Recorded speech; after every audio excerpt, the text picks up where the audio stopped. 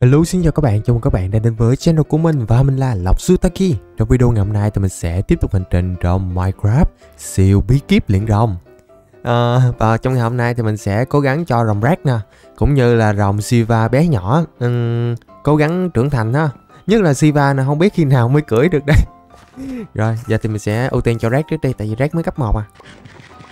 Cho rác lớn lên xíu ha. Rồi, mau lớn lên. Ui trời trời ơi, gác cũng khá là ngầu ấy nha. Được em ơi. Cố lên Đây mình sẽ chia tiếp ra. Đồ ăn thì còn khá là nhiều luôn. Nên thoải mái đó Ủa, cấp 25 thì Red đã chuyển sang chế độ quân ngầu rồi. Liệu rằng có cưỡi được chưa? Cưỡi được luôn. Rồng đấy chỉ cần cấp 25 thôi là mình đã có thể cưỡi rồi, thoải mái rồi. Quá tuyệt vời luôn. Nhưng mà Thôi thì mình sẽ um, cho lên cỡ cấp 50 đi. 50 là cấp độ trung bình mà kiểu như có lượng máu tương đối nhiều để có thể chống chọi với những cái kẻ địch mạnh rồi đó. Ăn tích cực vô. Đây. Rồi 50 đi. Rồi tới một giai đoạn nào khác thì mình sẽ cho lên 100 sao. Giờ thì mình sẽ um, dành phần còn lại cho em rồng à, Siva á. Rất là bé nhỏ luôn. Rồi, Siva chuẩn bị tới cưng nè. Hồi nãy mình mới hái lúa cho ăn rồi nên giờ chắc còn no. Ui, đói tiếp rồi nè. Mau đói vậy. Rồi. Ui Khi mình lên cấp 25 thì Siva đã có một cái sự thay đổi vượt bậc về kích thước luôn. Từ một chú rồng bé nhỏ chuyển sang chú rồng bự hơn một xíu rồi. Thì ra phải tới cấp 25 thì Siva mới lớn lên một chút nữa. Trời nào. Vô cái ruộng anh làm gì? ăn lúa nãy chưa đã sao nè, ăn thêm thức ăn đi cho mau lớn.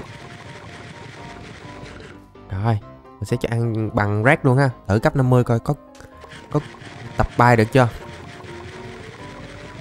Đây 50 luôn. Rồi. À và 50 thì cũng có thể bay được rồi nè. Mặc dù rất là nhỏ, nhưng mà tới 50 vẫn có thể cưỡi và bay được. Ừ uhm.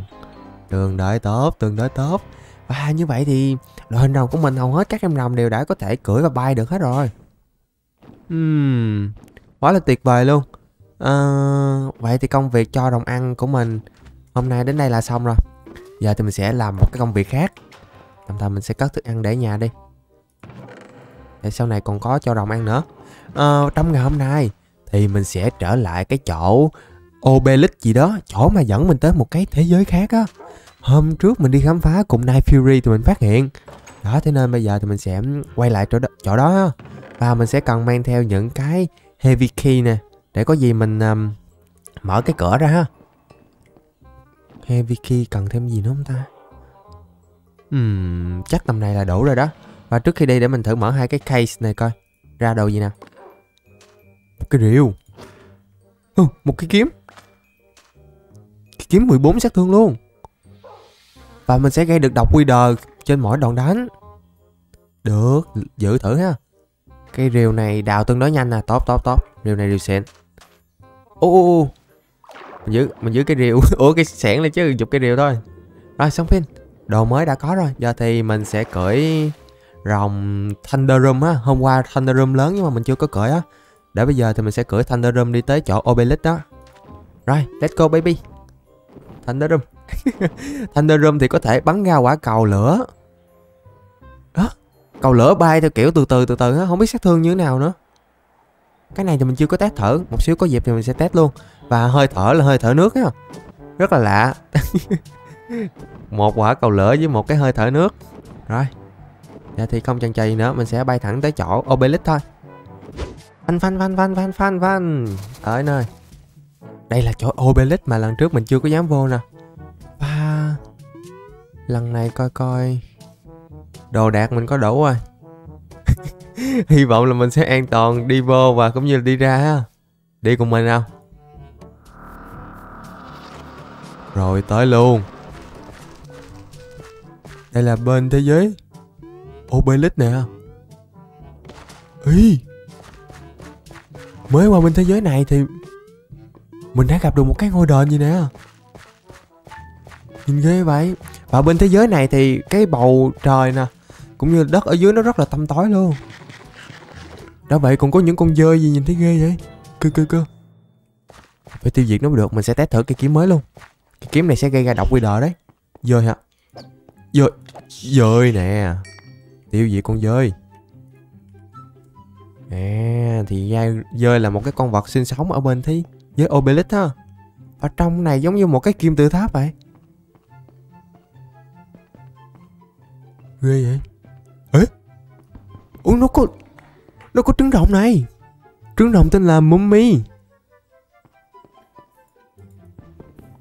Wow, Nó có trứng rồng nha. Được vậy. Ngoài trứng rồng ra còn dấu gì nữa không? Để mình nhìn kỹ coi. Mình đã tăng mắt độ sáng rồi. Mà bên đây nó vẫn tới ồn mà. Không sao hết. Có gì tối quá thì về chế thuốc Nhìn trong bóng tối chứ có gì đâu. Ui Ở đây còn có những con Ô oh, Những con sói. Chó sói nè. Bên đây còn có những con chó sói nữa nha. Rất là nguy hiểm luôn.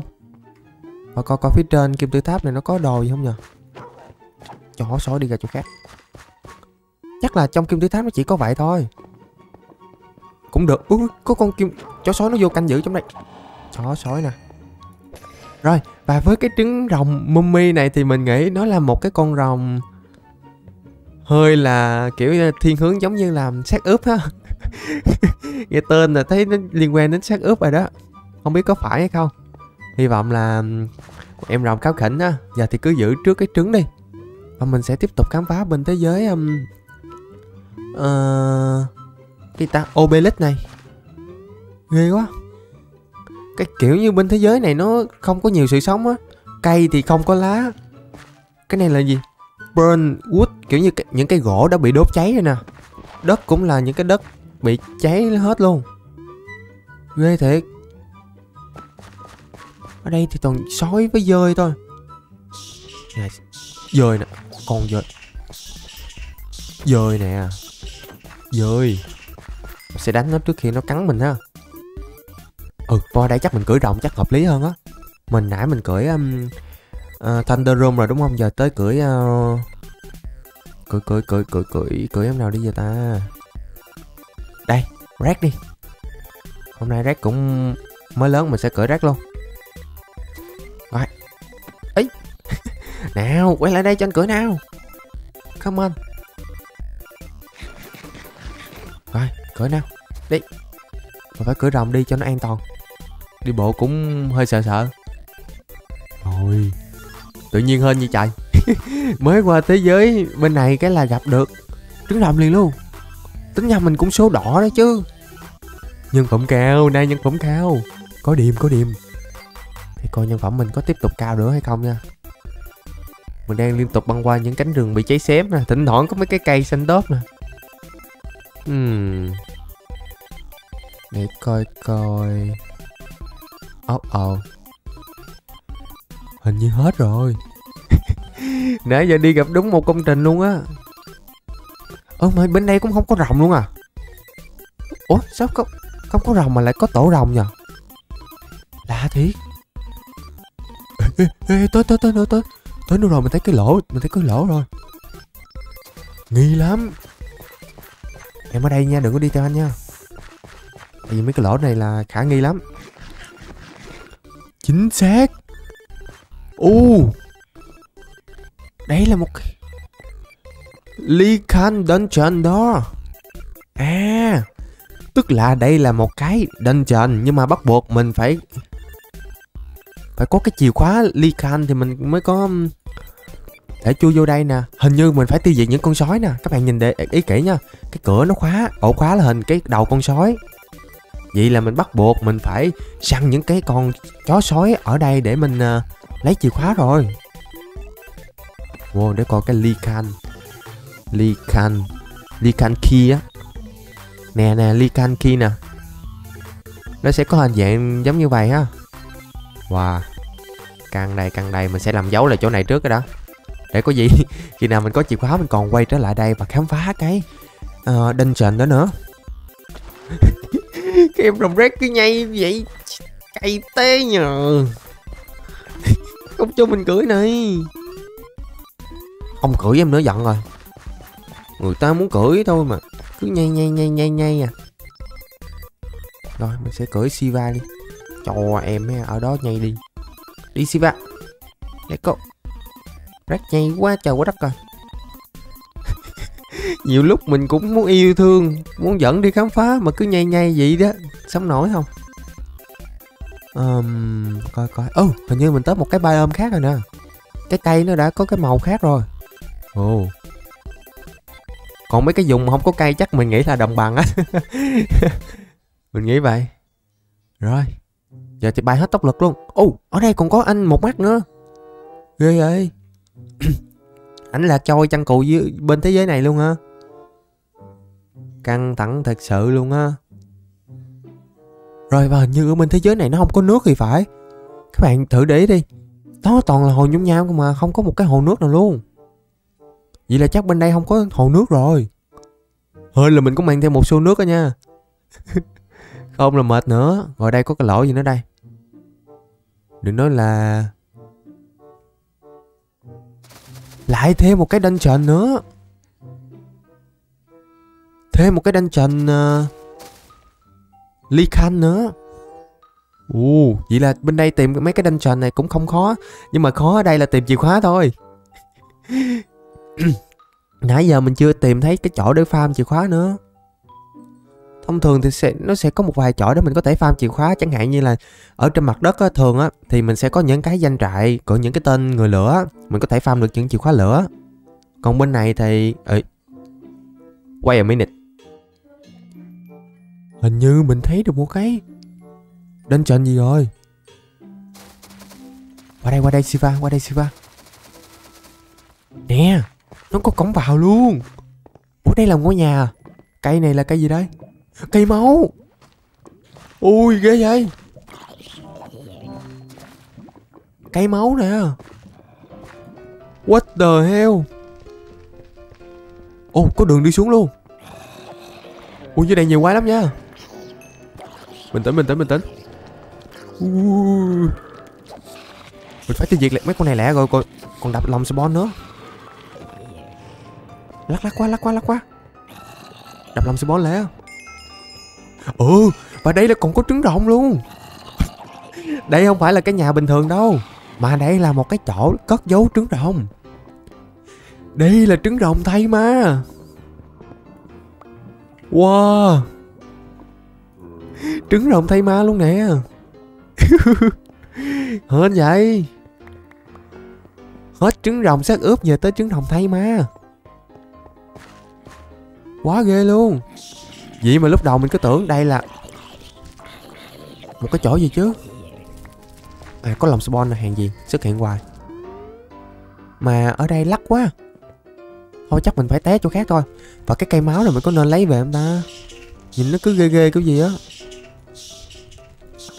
Tiêu diệt mấy con này. Dơi nè Dơi nè Dơi nè. Uống tiếp Uống, uống tiếp thuốc thôi Bổ sung Bổ sung thêm tâm nhanh. Ô kim cương được, lắm luôn. Ở đây còn có mấy cái cục obelisk nữa. Mình lấy về được không? À Obelisk mình có thể lấy được luôn. Vậy là mình biến về dễ dàng rồi. Lắm. Lắm luôn, lắm luôn. Tịch thu, tịch thu.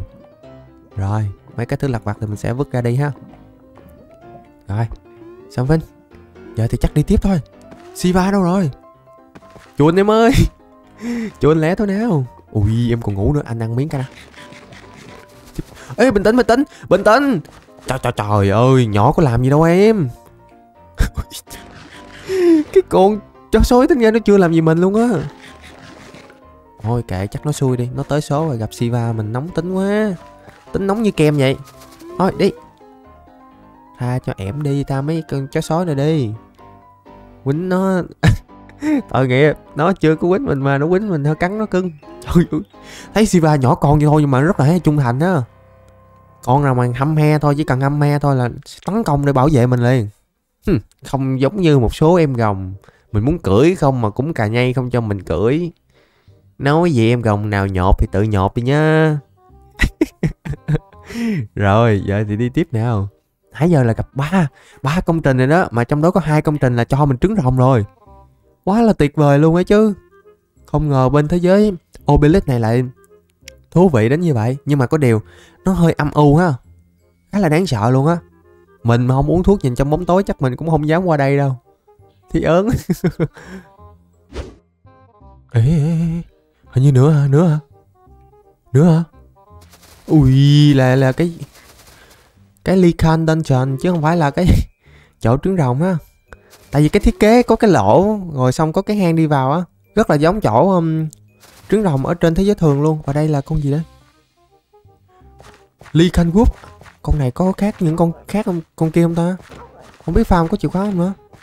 Ồ con này thì vẫn không có rơi ra chìa khóa ha. Hmm. Mình đang cần tìm một cái chỗ nào đó để mình có thể farm được chìa khóa cơ. Thôi chắc phải đi tiếp thôi mình Mục tiêu của mình hôm nay là phải kiểu như tìm ít nhất là được một cái chỗ để mình có thể farm được chìa khóa ổn định á. Rồi mình farm đủ số chìa khóa cần thiết đi. Chúng ta mới có thể bắt đầu khám phá ở một cái thế giới nữa. Những cái dungeon Lycan đó Rất là thú vị luôn. Nhưng mà có vẻ tìm một cái chỗ để farm. Ui, Tạm thời gác quay cái chuyện farm phủng đi. Mình tới thêm một cái công trình khác rồi. Đây là cái gì vậy? Nhìn thấy ghê hả? Cerberus Obelisk What? Hình như khi mà mình kích hoạt lên là mình sẽ chiến đấu với một cái con chó sói ba đầu đấy. Ý. Ủa, con này con Mình sẽ tiêu diệt con chó sói này. Để không thôi một hồi lúc mình đang chiến đấu nó sẽ vô nó tấn công mình đó rồi xong phim thôi chuyện gì tới nó cũng sẽ tới thôi. Nhưng mà bây giờ những em đồng mình phải bắt vô trong trước đó hình như bên thế giới này mình mình mình không cho những em rồng vô cái ọp được hả? Hay là bị lắc vậy ta? Mình nhìn giống như bị lắc lắm á. Chắc vậy rồi em rồng mình bị đâm vô cái cái cục obelisk rồi cơ. Rồi, ok, bây giờ mình thoát ra vào lại là em rồng cũng bay đi đâu à?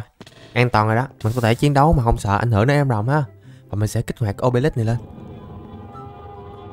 Biết ngay mà ui đây rồi đây rồi. Đây là con Cerberus. Chó sao ui nó tấn công, nó tấn công. Nè tấn công nè. Ui. nó tấn công ra lửa. Con này hung dữ à tấn công ra lửa nè. Tấn công nè. Mình sẽ tiêu diệt nó. Rồi. Im. Và nó sẽ cho mình một cái Fire Essence. Ồ. Để làm cái Flame Fury Stone á. Đã vậy. Còn có đầu của Cerberus.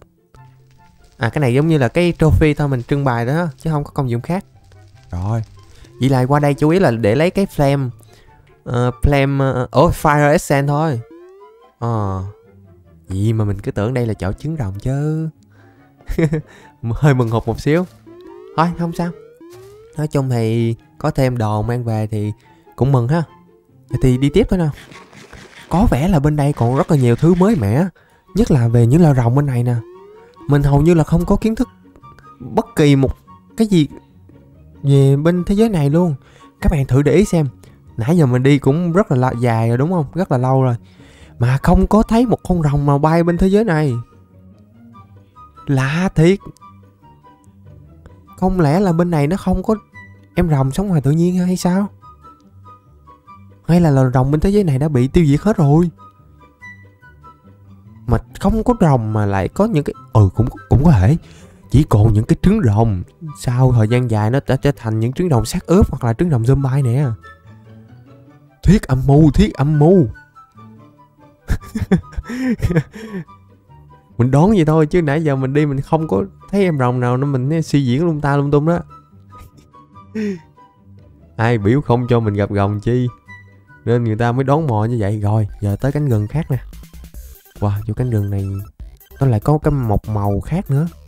Không biết cánh rừng này có thêm công trình gì hay không? Uhm, trước mắt là mình thấy không có rồi đó. Nhưng mà cưỡi tính ra cưỡi ờ, Siva cũng có cái lợi á là bay tuy không có nhanh. Nhưng mà map lót rất là mượt luôn nè. Cũng có một cái lợi thế cái mà bay chậm á. Cứ chờ từ thôi lót map cho nó kịp á rồi rồi rồi rồi xong xong xong rồi. Hết thuốc, hết thuốc rồi, hết thuốc rồi. Hết thuốc rồi, no. Tối tôi luôn. Sukana Chukamo luôn Rồi bây giờ đi khám phá trong màn đêm u tối luôn ha. A few moments later. Nữa hả, nữa hả Lại gặp thêm chỗ của Cerberus rồi nè. Ở bên đây thì mình thấy buồn quá nên lấy con vua ra cưỡi cho đỡ buồn. Mà con vua đúng bự luôn á, cưỡi hơi bị mệt luôn. Rồi mình sẽ đánh tiếp thêm một cái chỗ um, Cerberus nữa ha. Lần này mình sẽ test thử cây kiếm này. Vô vô Vô vô vô. Combo liên quan Tấn công nó Tấn công nó Ui, cây kiếm mới đánh đúng nhanh luôn á Mình đã tiêu diệt cái con Cerberus này trong một nốt nhạc luôn. Rồi đi tiếp nào đồng vua. Đây go Đó mỗi lần cử đồng vua thấy mệt chưa? Quá trời bự luôn á. Nhưng mà bay cũng không có nhanh quá Nên cũng không sợ kiểu lóc mắt không kịp đâu. Rồi đi tiếp thôi. Ừ, Để coi coi. Không có luôn á. Hồi nãy giờ mình thử mình tìm thêm công trình các thứ mà có vẻ là Nhân phẩm mình chỉ tới đây à. Không biết có nên quay gì không nữa. Ừm. Ôi gán thêm xíu nữa đi. Ở dưới Ui, không phải, cái đó là cái ờ, Cái hồ nhum nham thôi. Bây giờ nhìn cái nào cũng nghi nghi là công trình hết đó. Rồi, dưới này là gì đây? Phải công trình không Ồ. Oh. Nó nó nó là cái ly canh tinh trình nhưng mà vấn đề là mình không có farm được chìa khóa nè chưa biết chìa khóa farm ở chỗ nào nữa. Khó gì mấy fan. Nếu mà ly can dungeon thì mình phải tìm những cái ly can nation á. Mình nghĩ vậy. Bên này mình có thấy đâu ta? Nãy giờ bay, mấy em gần bay muốn thấy không? Mỏi hết cả cánh luôn rồi. Ui, cuối cùng cũng gồng nhưng mà con gồng này là con gồng hoang dã. Thôi thôi thôi. Gồng nó chơi lầy lắm, không chơi nó đâu cho nó chơi mình đi. Ghẻo hướng khác. Nữa nữa nữa rồi nữa rồi. Mình lại gặp thêm một cái chỗ của rồng mummy thì phải. Đây đáp xuống đáp xuống em ơi. Còn cái tướng rồng vua đáp mất cười thiệt sự. Thôi cho em tự đáp đi mình nhảy xuống trước. Vô. Vô đây thì không có sợ gì hết á. Cứ thoải mái vô mà lấy trứng rồng mummy thôi. Mình sẽ cho vô bộ sưu tập của mình. Đấy rồi ngoài ra thì nếu mà mình muốn kiếm thêm đồ các thứ mình có thể đập những cái chậu nữa ha. Để lấy đồ. Nhưng mà chắc cũng không cần lắm đâu. Đây vô đây. Cái này từng có thể lấy được về trưng bày hả? Wow. Ồ. Ồ. Được mình lấy về mình trưng bày. Ôi rồi mình sẽ trưng bày theo phong cách là ai cập cổ đại á pha pha rong các thứ á đấy đây đây đây, hợp lý hợp lý. Này.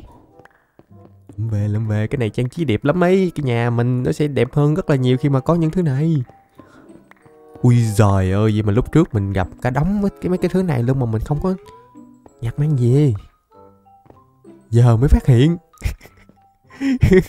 Trứng rồng không là chưa đủ. Mình phải lấy thêm mấy cái thứ này nữa. Trời ơi chặt có đồ luôn rồi. Nó nhiều quá này chuyến chuyến này về trang trí mệt xỉu luôn á. Vứt mấy cái này đi. Rồi, xong phim. Xương vứt luôn. Hôm nào ghé vô mấy cái dungeon kia mình farm xương sao? Giờ thì lo đi tìm công trình farm cái chìa khóa nè. Nãy giờ cưỡi con vua đúng không? Giờ mình sẽ cưỡi em em nào mà lâu rồi mình chưa cưỡi ta kiếm nào lâu lâu cưỡi coi.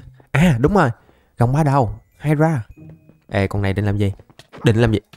Ổ báo cáo tròn hả? Rồi, mình sẽ cưỡi hai ra để đi ha. Đây. Ủa, hai ra đang ngủ rồi. Thôi, tỉnh đi em. Đi tiếp. Thôi. Gồng vua đang bay đi chỗ khác hả? Thôi, vậy thôi, để cho gồng vua bay đi phượt đi. Mình sẽ đi về hướng này. Bắt đầu thấy nhùng chí rồi.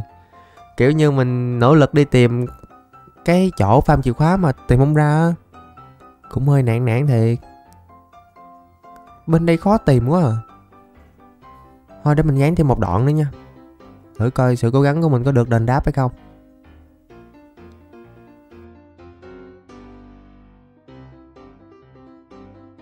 Nữa hả, nữa hả? Sao tìm cái này mà gặp cái kia hoài vậy? Cái thứ ba rồi đó thôi. Nốt cái này nó đi về thôi. Hôm nay nhân phẩm mình hết rồi có được thêm hai trứng rồng hai loại trứng rồng mới là yêu cái u u. Ồ, con này có vẻ nhiều máu hơn xíu. Đánh lại nó. Đánh nhanh rút gọn nó. Con con này cũng thuộc dạng mạnh chứ không phải dạng yếu đâu. Đánh nó. Ok. Chỉ là qua đây lời nước chắc là được ba cái fire essence này thôi chứ ngoài ra cũng chẳng có thêm được um, uh, manh mối mới về cái cái chỗ ly Khan pha, ủa farm chỉ khóa ly Khan ha? Hay, chắc hôm nay đi tới đây thôi. Giờ thì đi về nhà bằng cái obelisk thôi chứ biết sao giờ. Về nhà thì công chuyện đầu tiên là mình sẽ khoe hai cái trứng rồng mới nè. Trứng rồng zombie và trứng rồng mummy. Ồ ồ hai trứng rồng đều có sự đáng sợ riêng á. Hai trứng rồng này không biết sẽ ấp bằng những cái loại máy ấp nào đây ta? Rồi, xong. Hiểu luôn, nó ấp bằng máy ấp trứng rồng chạy bằng nhung nhám. Ok. Ấp thì ấp có đâu mà sợ. Đây mình sẽ múc mình cho vô ha. Sẽ cho đầy bình luôn, để mình ấp được đủ hai cái trứng mà không cần phải chăm thêm á. Này. Gần hết nên là mình phải tranh thủ mình múc thêm dung nham mình cho vô cái bình của mình nữa đấy. Rồi. Đầy bình ta hồ mà ấp đi ha còn trứng rồng zombie này cũng sẽ được up trong thời gian gần thôi. À, công việc còn lại của mình đó chính là đi trưng bày cái trứng. Mummy ha tại vì mình có dư ra nè mình sẽ trưng bày vô thôi. Mummy thì hơi sợ ừ, đáng sợ ha mình sẽ cho vô góc này đi. À mốt có thêm trứng rồng zombie đặt ở đây nữa là có thêm thành ủa có thêm trứng rồng trong bộ sưu tập trứng, trứng rồng của mình rồi. Còn riêng những cái um, cái này thì mình sẽ treo lên ở phía trên ha nhìn cho nó đẹp đấy. Hơi bị đã luôn. Wow. Quá đẹp luôn á. Rồi rồi rồi rồi. Còn những cái cái la scrap gem á thì mình sẽ đặt ở trước ở phía trước giống như vậy. Trời ơi cái nhà kho mình bắt đầu đẹp đẹp rồi đấy. Còn những cái này thì mình có thể đặt ở uh, bên cạnh giống như vậy nè. Mấy cái chỗ ờ, uh... ôi mà mấy cái này hình nhìn hơi ghê ghê ta cái chỗ ui. Cái này nữa đêm đi ra chắc giật mình xỉu ngang quá. Ok, trang trí đi ha, mình trang trí mà sợ gì? Rồi, mấy cái um, này thì mình sẽ đặt ở phía sau. Chui vô đi. Con kia chui vô. U u trời trời trời sao tự nhiên mấy em đồng bay về nhà đóng lại những cái rương bự thì mình cũng có thể đặt ở bên này. Cái này vừa có thể ôi! Gì? Sao play phải nó tung rồi? Ui dồi mấy em rồng đi đốt nhau kìa. Không hiểu luôn. Anh em tương tàn rồi. No no no no. Không ổn rồi. Anh em, mấy anh em rồng đang tương tàn với nhau. Ôi oh no. Thôi, nói chung thì trong chiến khám phá này mình cũng đã biết thêm về thế giới uh, tối thui kia. Mình gọi tạm là obelisk đi ha. Và trong tương lai mình sẽ gán tìm những chìa khóa để đột nhập vào những cái dungeon sớm thôi. Và cảm ơn các bạn đã xem hết video này. Hẹn gặp lại các bạn vào những chiến khám phá kế tiếp. Bye bye.